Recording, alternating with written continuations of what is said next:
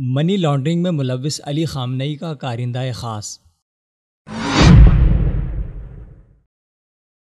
ایران میں ملائی نظام میں جہاں بے شمار خامیاں اور خرافات ہیں، وہیں کرپشن اور جال سازی میں بھی ملائی نظام ولایت فقی اپنی الگ پہچان رکھتا ہے۔ ایرانی فوج، حکومت اور دیگر سرکاری اداروں میں کرپشن کی داستان زبان زد عام ہیں۔ اکثر و بیشتر کرپشن میں ملوث بڑے بڑے نام ایرانی سپریم لیڈر کے دائیں بائیں پائے جانے والے لوگ ہوتے ہیں۔ حالیہ ایرانی انتخابات میں بھی ایرانی صدارت کے امیدواروں نے ایک دوسرے کی کرپشن سے خوب پردے اٹھائے۔ لیکن شاید ملائی نظام کے کٹ پتلی صدر اور دیگر حکومتی ارکان یہ کبھی نہیں بتا سکیں گے کہ منی لانڈرنگ، کرپشن اور لوٹ مار ایرانی سپریم لیڈر کی منشا اور مرضی پر محیط ہے۔ سپریم لیڈر اور اس کے اعلی خود کو ایران کے سفید و سیاح کا مالک سمجھتے ہیں۔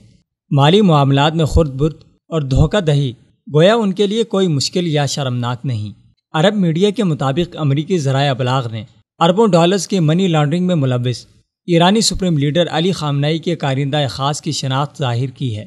امریکی ویب سائٹ پولی ٹیکو نے اپنی رپورٹ میں بتایا ہے کہ امریکہ اور کوریا کی دوہری شہریت رکھنے والا کینیٹ زونگ جو بظاہر مچھلیوں کا کاروبار کرتا ہے، ایرانی رجیم کے لیے اربوں ڈالرز کے منی لانڈرنگ میں ملوث ہے۔ رپورٹ کے مطابق کینیٹ زونگ تین ایرانی تاجروں، بوریا نائبی ہوشنق حسین بور اور ہوشنق فرسودہ کے ساتھ مل کر منی لانڈرنگ کرتا ہے۔ ان چاروں نے فرضی کمپنیوں کے نام پر جنوبی کوریا کے سرکاری بینکوں کے عہدیداروں کے تعاون سے خطیر رقم ایران منتقل کی۔ امریکی ویب پورٹل پولیٹیکو کے مطابق انسانی حقوق کے اداروں کی طرف سے فراہم کردہ دستاویزات اور شواہد کے مطابق ایران نے منی لانڈرنگ کے لیے عالمگیر نیٹ ورک تشکیل دے رکھا ہے، جو ایک طرف مشرق وسطی میں اور دوسری طرف جنوبی کوریا اور بحر الکاریبی تک پھیلا ہوا ہے۔ جب سے ایران کے متنازع ایٹمی پروگرام کی وجہ سے تہران کو اقتصادی پابندیوں کا سامنا ہے، اس کے بعد ایرانی رجیم کے لیے منی لانڈرنگ میں سرگرم گروپوں پر بھی عالمی اداروں کی گہری نظریں ہیں۔ رپورٹ کے مطابق، اگست دو ہزار بارہ کو امریکی شہر کولوراڈو میں رہائش پذیر کینیٹ زونگ کے بیٹے مشل زونگ کی شادی کے بعد ان کے گھر پر پولیس نے چھاپا مارا۔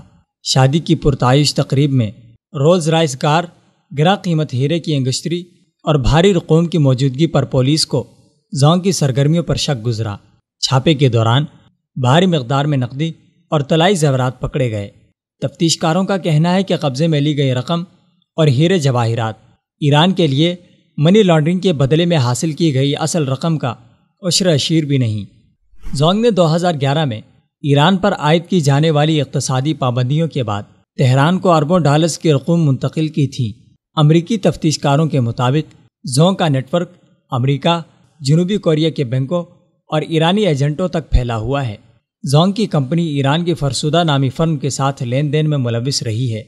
فرسودہ کمپنی سنگ مرمر کی تجارت کرتی ہے، مگر زونگ کی کمپنی نے فرسودہ سے جو بھی لین دین کیا اس میں پتھروں کی خریداری کا کوئی تذکرہ نہیں۔ اسی طرح زونگ نے ایرانی کمپنی ارکیدہ کے ساتھ بھی لین دین کیا اور ایران کو بھاری رقوم منتقل کر کے منی لانڈرنگ کی۔